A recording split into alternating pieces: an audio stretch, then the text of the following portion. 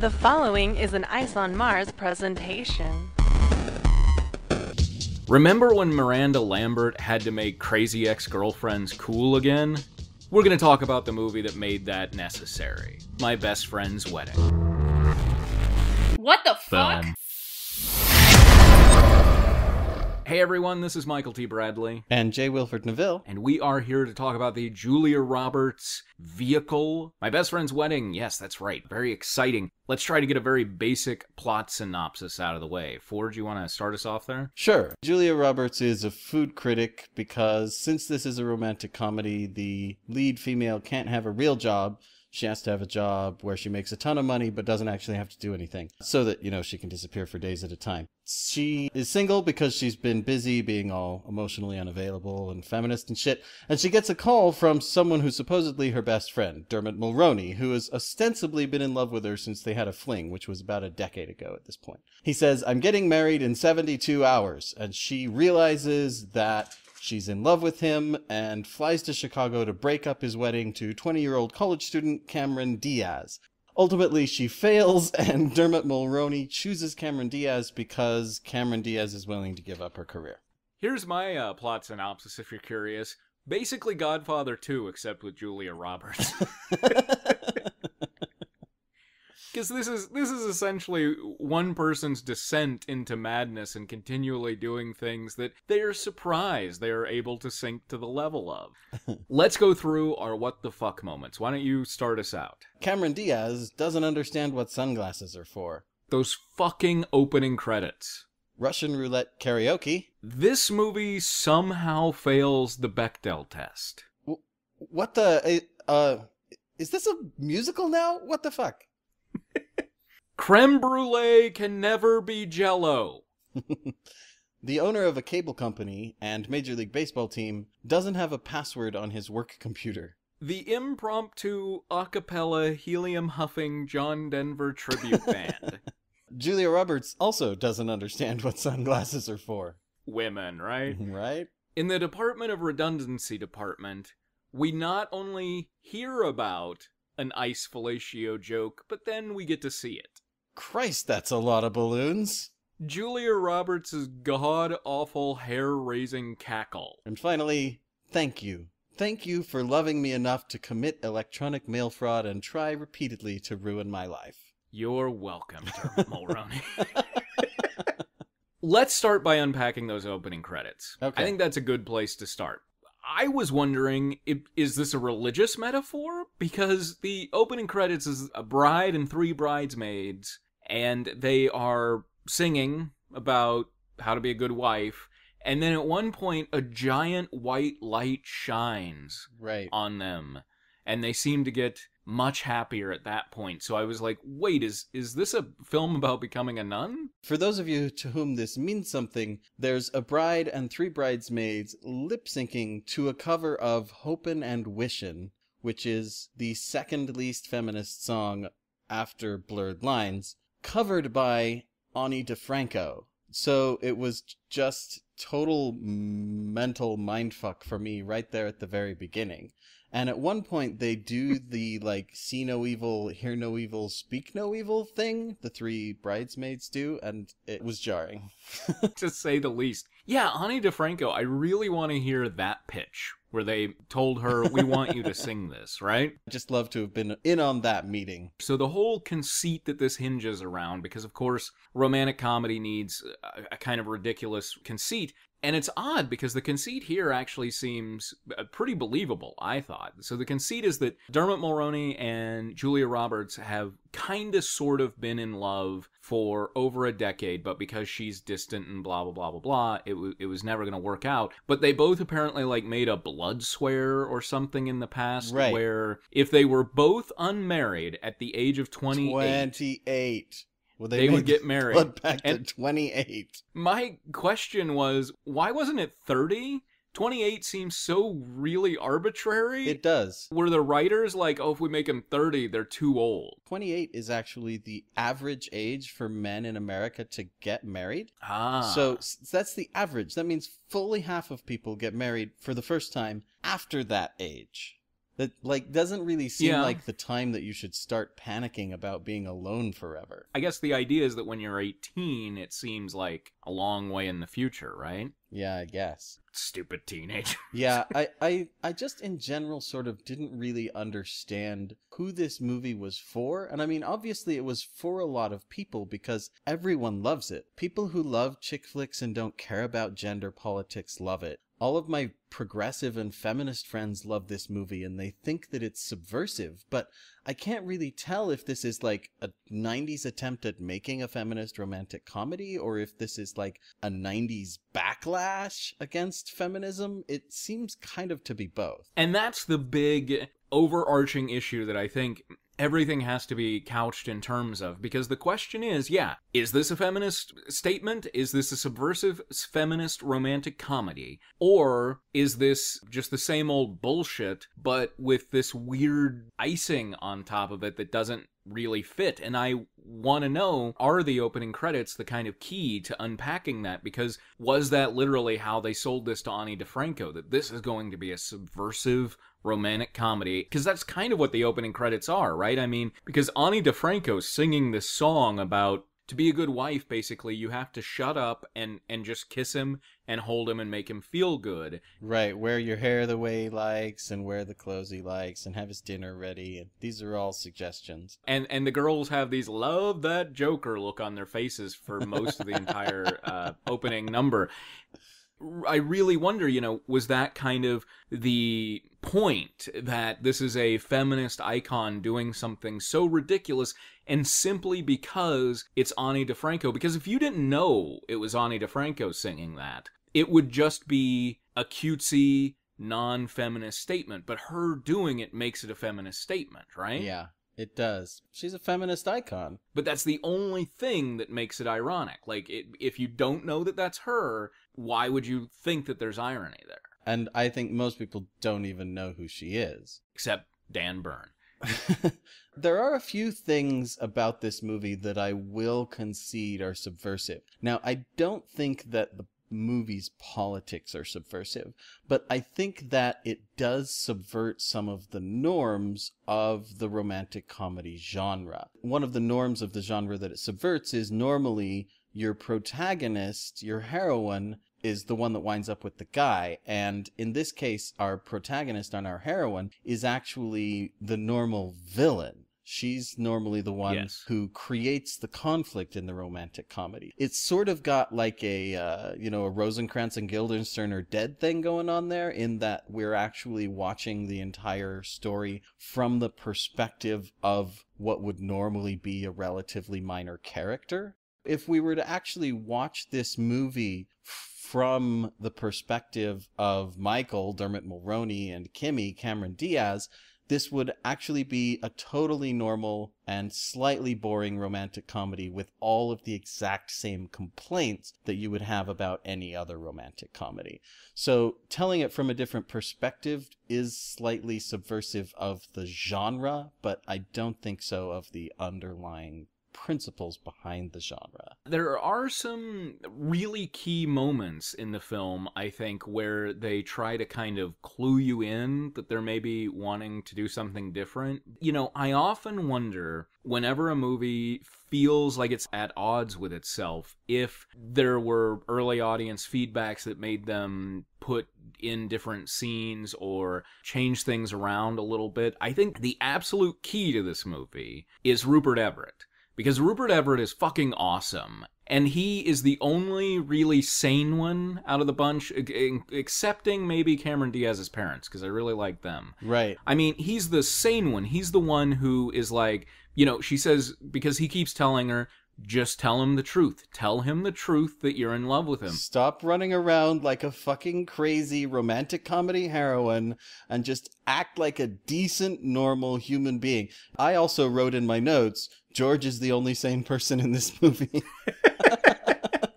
he is almost an audience figure because I, I felt because he says exactly what I was thinking because she asks him what's going to happen when I tell him and he says he'll choose Kim and you'll say goodbye And and that's what has to happen because there's no reason, you know, it's never revealed that say Kim is using him for some reason or lying to him for some reason or da da da da da da. I mean, we get the red herring of she's she's so young, right? I mean, he's 28, she's 20 and still in college, but there's never anything more than that. Uh, the reason why I felt the movie failed on that level, however, I I thought was highlighted by the fact that they all three of them go out to a karaoke bar and there's this moment where Julia Roberts and Dermot, I'm just going to call him Dermot because if we try to call him Michael, it's going to get really confusing here. Julia Roberts and Dermot, because they've known each other for most of their lives, start having in jokes, and Cameron Diaz feels really left out, right?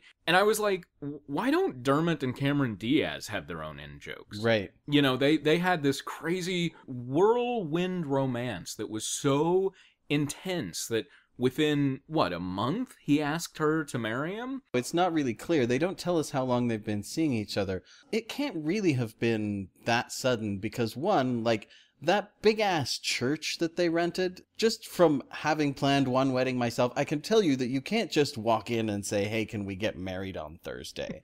At a place like that you have to book that a year in advance at the very least. Somebody spent like five weeks just blowing up all those fucking helium balloons, I can guarantee you. But this was actually something that didn't really work for me, and I was very confused about. Like, supposedly Dermot is her best friend, right? They're best friends and they're secretly yes. in love, something that we'll talk about later that annoyed me also.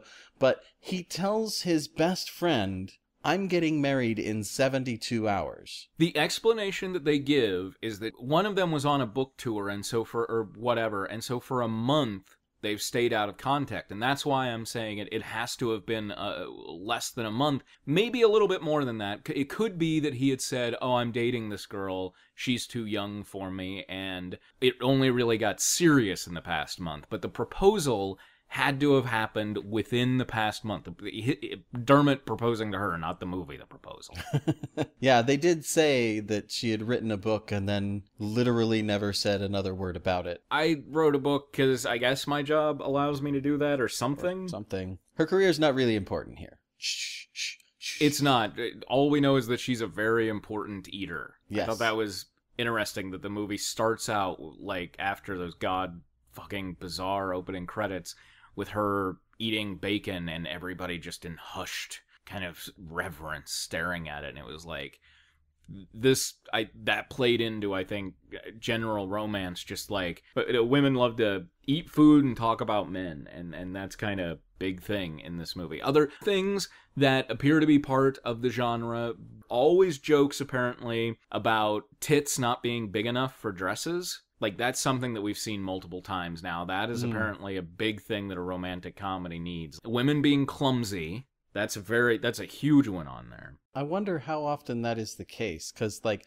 I thought that it was like something that maybe was setting apart Good Luck Chuck was to have Jessica Alba be clumsy like that, but here she winds up flat on her back six times and yet there are no sex scenes. I guess every woman just feels extremely clumsy. And so they have to they have to play up on that something that I thought was possibly subverting is that uh, Rupert Everett's character is gay. Right. If Rupert Everett's character had been straight, this movie would have ended with them becoming romantically entwined, right? And then we still get the hiya as they call it in the romance business, the happily ever after. You think that having George be gay was a subversive thing for them to do rather than have her rather than have him be a female character? Having him be this character who obviously loves her more than she deserves, right? Kind of no matter what, he's there. And she's quite clearly a monster. Yes.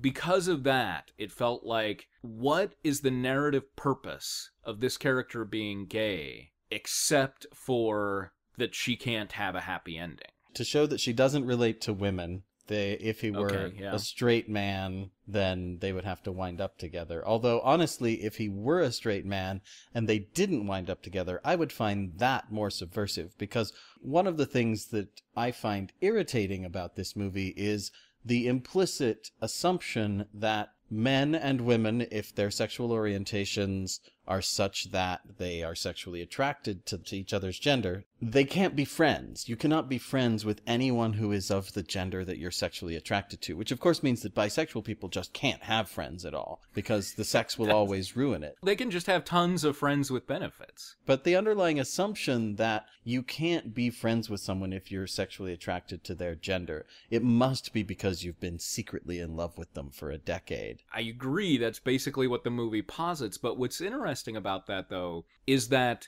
nobody in the movie seems to question that assumption. It's only kind of the movie speaking to the audience that does that because I was really shocked by just how completely trusting Cameron Diaz is in this movie. Because it's like, oh, you're a female best friend who you used to date, and I know that you've been sexually active with, and this is like one of the kind of most tension filled moments in your life where people do stupid shit and you want to like spend the day with her and everything, that's fine. They did say later in the climactic bathroom scene, no one's ever strung those words together before, that she didn't trust her, right? That she knew that she was going to try to pull But something. there was no proof of that through the entire film. Also, none of the family question the fact that, that Dermot had a female best friend. He goes into the room while she's changing and keeps the door open enough so that anybody could see that he's in with Julia Roberts nearly unclothed, and that Right. doesn't seem like a big deal. It felt like everybody was just completely comfortable with the fact that he had a female best friend. None of the characters seem to question that, but the movie certainly does. Another kind of similar note is like one of the things, again, that people point to as evidence of this movie being subversive is during the big chase sh- scene when she's stolen a catering truck and is chasing Dermot, who's chasing Cameron Diaz through the city streets of Chicago. And incidentally, I watched this with my girlfriend who's from Chicago, and she's like, "There's no way you'd get between those two places that fast. no fucking way." But she's on the phone with George. And he says, with Rupert Everett, and he says, Give it up. You're not the one. No one's chasing you because you're not the one. And people say, Look, Julia Roberts is not the one. But the underlying assumption again is that there is a the one. It's just Cameron Diaz is the one because Cameron Diaz is young and pretty and willing to give up her career and willing to change herself and mold herself to fit his life and dreams instead of having her own. She fulfills the opening credits song. Exactly. Uh, some people think that even to have this conflict at all is progressive, but I don't think that it sells it, which is that in order to be with Dermot and for him to continue pursuing his dream of being a journalist, he needs to travel a lot, which means she needs to quit school in order to be with him. She has a dream of being an architect, but she has to give that up so that he can continue to make crappy money as a traveling sports journalist. And she doesn't want to do that, and they haven't talked about it. And it's just an assumption that she is going to give up school in order for him to have his dream because his dream is the one that matters. Her dream does not. Yeah, they kind of touch on that a little bit because, like, Julia Roberts towards the end, uh, after having tried to push a wedge in because of that issue, she says to Cameron Diaz something like, "I'm the cause of this. I I tried to push that wedge." And Cameron says, "No, I I you know the reason that it was so upsetting is because I do have these reservations. I I don't really want to quit college." I mean, there's this live, vibrant love story that we just aren't really privy to in this movie. I thought it was kind of annoying just sort of the way that was handled in the restaurant scene because that was her first scheme was to convince Cameron Diaz that Dermot Mulroney would be willing to give up his dream in order to let her pursue hers that he might entertain that notion. Like that's all she did. All she did was convince Cameron Diaz to ask for what she really wanted in life. And of course, Dermot Mulroney Yeah. explodes. He berates her loudly in a very public place. He says that she made him look like an insensitive, sexist asshole, which she didn't really make him look that way. he did a pretty good job of it himself. Um, and of course, she breaks down and she blubbers and she cries and she apologizes for even asking for what it is that she wants in, in life and in their relationship. Again, though, I really felt as if there was probably a second part to that conversation that we didn't get to see that happened once their tempers had calmed down. Possibly, except that towards the end, when Julia Roberts is playing go between between the two of them, she again apologizes for even bringing it up. That whole go between scene where she's essentially giving confession to both of them because they're the wedding is off and they're they're both upset and she goes in between and, and she's kind of trying to confess to what she's done but talking around it because she's a horrible person and blah blah blah blah blah. And that's where i was like this is godfather 2 because you know we've got a huge wedding right? And that's a uh, that's a place where the Godfather movies usually either begin or end, and uh, and and we've got someone being a confessor and taking a plunge down a moral vacuum. If this had been your typical romantic comedy and she had been the one, then all of that would have been fine, right? All of this shit that happened would have just been a funny story that they would tell their grandkids. Like the movie Yes. doesn't really push on the fact that Julia Roberts is being batshit fucking insane and behaving in a way that is absolutely unacceptable in polite society. It's just treated That- as that's what you do when you're in love sometimes. Sometimes love's a little Sometimes love's a little crazy. that does seem to be a theme, doesn't it? She, yeah, she's gonna she's gonna put on the penguin suit and show up at his work here soon. That's something that I did keep thinking about was because the movie tries to trick you a lot. There are certain scenes that feel like they have I I felt the ring of truth, like the scene where Dermot and Julia Roberts are in the boat and they're talking about how long they've known each other and their interaction and he says something like when the timing is right, you have to act on something. If you let the moment pass you by, then it's gone forever. And it's filmed in such a way that you feel this is her moment. She could be truthful here, and possibly they could be together. And she doesn't. And the moment passes, and you're like, okay. And and it's things like that have the ring of truth. And then, on, but then on the other hand, it does kind of try to keep tricking you that she could get him. That's I think why the ending is supposed to feel so subversive and crazy because she doesn't get him. But from the beginning, I'm like, if she gets him, this is just fucking nuts of a, you know, like because there's no reason that she would.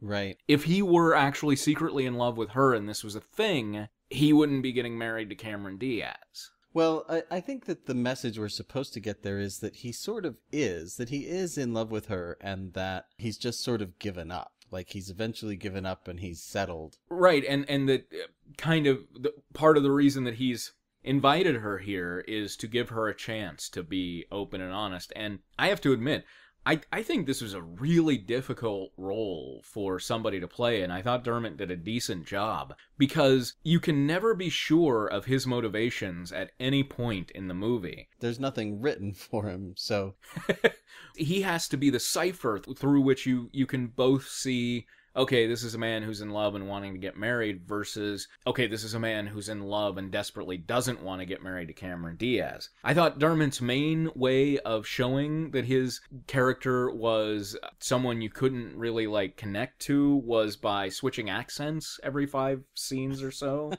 I was like, "Wait, is he Australian, southern, what the hell?" That was another thing. I was never quite sure where he was from because not Chicago is really the only thing that we know. right. At one point in the middle of the movie, when they're all out to lunch, they randomly break into song and everyone seems to know the words. And a piano music magically appears. Uh oh. I think it's happening here too. You ready, Michael? No, Come on. I I don't. The first line is know. yours. Wait, wait, wait, wait for it to come back Um, around again. No, Okay, just kidding. that scene, like I hate musicals oddly, but I love whenever an unscripted song or dance shows up in a movie, and so I really enjoyed that scene. But oh my god, the best part about that scene is the thing that starts it is George Rupert Everett telling a story. And I absolutely love the way that they wrote Rupert Everett during that whole section because essentially he's told Julia Roberts, be honest with him. You have to be honest with him. and I'm gonna fuck with you until you do. He gives her a chance. She completely lies, says that he's there because she's actually getting married to him and blah, blah, blah, blah, blah. And he's like, all right, you're going to be a stupid bitch. I'm going to fuck with you to no end. And so he just starts telling the family crazy shit. I love that. He was a fairly minor character that really made the movie pretty enjoyable for me. And another pair of characters that I really enjoyed in this movie, and no one else even seems to remember them, are Kimmy's cousins. What what are they called? Revengeful They bitches or whatever? The vengeful sluts. There Um, we go, Their names yeah. are Samantha and Amanda Newsom. And they're actually called Vengeful Sluts twice in the movie. Once by Kimmy, which I found kind of irritating. And the second time by themselves. They introduce themselves as the Vengeful Sluts in a sort of ironic way, which means that they know that their family calls them that Yeah. but they continued to be brazen and open with their sexuality because there's the whole line about like they're talking about you know scoring with the groomsmen and they're like stay away from the short chubby hairy one he's mine yes. i really liked those two characters but the movie really treats them like shit and the movie really slut shames them and Yeah. it really expects us to slut shame them as well we're not supposed to like them but they're like my favorite characters in the entire movie Well, it's one of them that gets stuck performing fellatio on the ice sculpture, right? Right. And you know what's funny is that a similar incident or a male character with similar attitudes regarding sex would be treated as totally normal. But these two are treated as just totally beyond the pale sexual and promiscuous. And so I thought that that was actually really shined a light into the politics of the movie and showed that it, the movie itself is actually not very feminist was the way it treated those two characters. And there was another thing that I noticed, and this is something I've been paying attention to ever since we noticed what a good job the proposal did with the ethnic diversity of the ancillary cast. How many speaking parts do you think there were for non white people that were not in food service? I don't remember a single one. I'll guess one. There is exactly one. It is in the climactic bathroom scene. There is a black woman in there who says to Jules, Bitch. That is the one word spoken by a person of color who is not working in food service in this movie. It, it doesn't surprise me. Let, let's talk some more about that bathroom scene because I agree with you with everything that you're saying here, and I really feel that that bathroom scene was meant to be like the big moment in the movie where it's like, this is a feminist statement, right? Because Cameron Diaz is like, you're a fucking bitch, and I knew what you were up to all along, basically. Mm-hmm. It doesn't ring true for me. Oh, and we also have all the women around who are the target demographic for a movie starring Julia Roberts doing shit like this, right?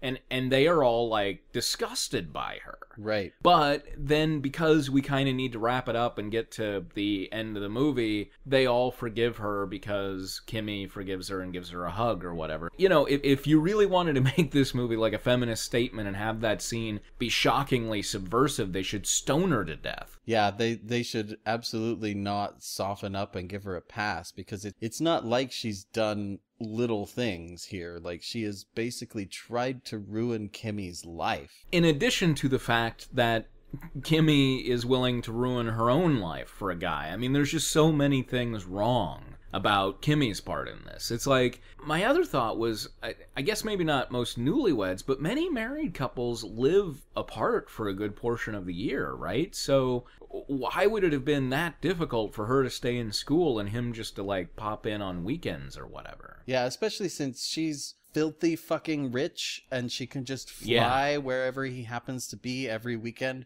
presumably in their private Learjet. This movie also has a fake wedding story in it. We get a fake Oh, story yeah. about the proposal. So I don't know if that is a trope of the genre or not. It's starting to look like it could possibly be, huh? Yeah, that's interesting. That that's such a that's something they fall back on. We'll have to watch and see if that shows up in others. You know, there are a lot of things that date this movie, like, for instance, the email right. section where nobody needs an at or a dot com. It's just George Smith. Bob. Yeah.